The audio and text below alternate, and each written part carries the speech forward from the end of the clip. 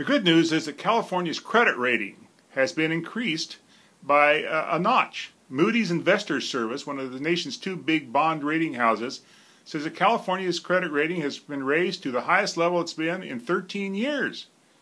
And that's good news all the way around. It means California will be paying less interest on the bonds it issues. And it reflects the fact that California's finances have improved. The state budget's been balanced after years of deficits, and Moody's believes that our financial outlook is stable. But there's a bad news piece of that as well. California's credit rating, even though it's higher than it was, is still among the lowest in the country. In fact, it's tied with two other states for 48th lowest in the country. And that's not good news at all. And it means that California still has a long way to go to improve its standing. It needs to do something not only to balance the current budgets, to make sure that the long term finances of the state are in balance, and there's still some doubt about that, as Moody's and others have, have mentioned.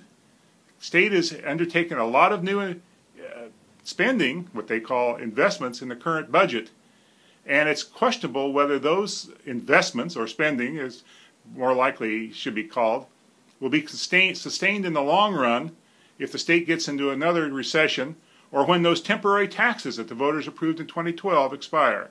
So it's good news, but there's always a dark side to good news.